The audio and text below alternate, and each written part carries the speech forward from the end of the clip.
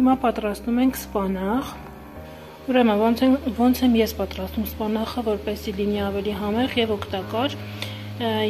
Սպանախը ես չեմ եփում ջրով, ջուրը թափում, հետո իրան հանում, նոր տապակում։ Ուղղակի լավ լվանալուց հետո իրան կտրատում եմ եւ ինչ եմ անում ես։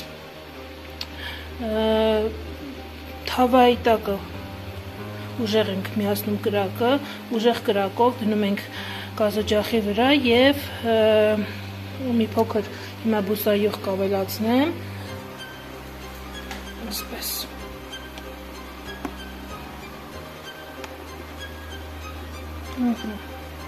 Բավական է։ Հիմա կհամեմեմ աղով, սև պղպեղով, կարմիր պղպեղով եւ ուղղակի այսպես վրանը փակում եմ եւ 2 րոպե հետո 2-ից 5 րոպե հետո ինքը այնքան ջուր է դուրս գցում, որ ընդհանրապես ջուր լցնելու կարիք չկա։ Հենց իր ջրի մեջ էլ սկսում է եփվել։ Երբ որ կզգանք ջուրը որ շատ է, արդեն կափարիչը բացում ենք ու բաց վիճակում արդեն թողնում ենք, որպեսզի ջուրը քաշվի։ Հիմա ես մոտ 5 րոպե այսպես ուժեղ գրակով կթողնեմ։ Իրան կհամեմեմ համեմունքներով, այդ ընթացքում ինքը ջուրը ամբողջությամբ դուրս կգցի ու ձեզ ցույց կտամ թե ինչքան ջուր է դուրս գցի։ Ու թողնում եմ հենց այդ ջրի մեջ է մոտ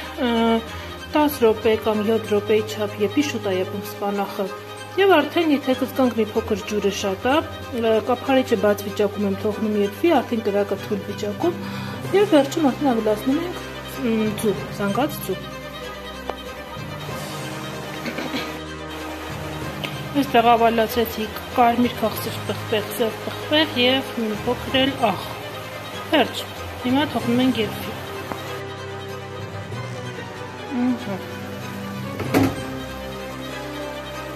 Տեսեք 5 րոպե չի անց, բայց արդեն ահագին ջուր է դուրս Գրակը արդեն ելնեմ մարմանդ գրակի վրա, ցածրացել եմ գրակի տակը ու թողնեմ մոտ 10 րոպե երբի, որից հետո արդեն Բամ տեսնենք եթե աղը նորմալ է,